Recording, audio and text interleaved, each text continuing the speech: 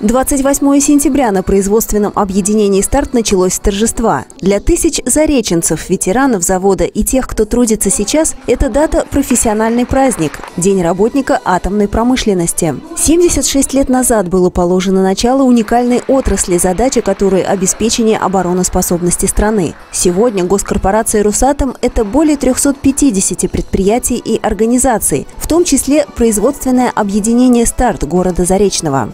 Производственное объединение «Старт» является ведущим предприятием по выпуску э, приборов для ядерных боеприпасов.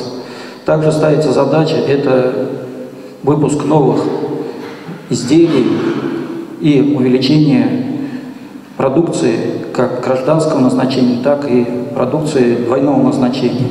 Здесь мы также с вами находимся на передовых позициях и новые продукты по ВИВТ, по гражданскому направлению, по техническим средствам охраны у нас есть. Главная ценность предприятия – это его люди. По традиции, в день профессионального праздника на предприятии чествовали лучших сотрудников, отмеченных высокими наградами за профессионализм, мастерство и долгие годы, отданные родному заводу. Работникам различных подразделений вручили почетные грамоты госкорпорации «Русатом» и благодарности руководителя отрасли. Несколько заводчан удостоены знака «Ветеран атомной энергетики и промышленности».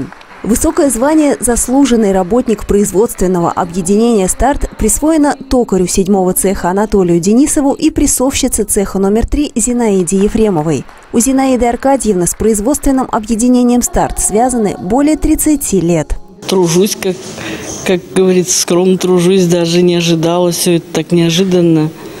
Ну, приятно, конечно. Все это так неожиданно, как гордость, что ли, из-за себя и вообще вот то, что я, ну, не зря работаю вот на предприятии столько лет. Я болею за свою работу. Ну, как, чтобы, как говорится, стыдно не было за свою работу. Анатолий Денисов тоже сторожил предприятие. На заводе он трудится без малого 40 лет. И все эти годы верен обычному токарному станку. Сейчас такие сложные детали приходится. Даже некоторые на программных станках не могут сделать.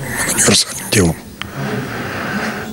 Так. То есть, а вы делаете? Делаю. На обычном? На обычном.